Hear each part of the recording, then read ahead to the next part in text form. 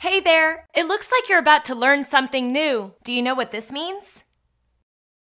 Basement meaning a floor in a building that is partially or completely below ground. For example, they felt like the walls found in the basements of old buildings.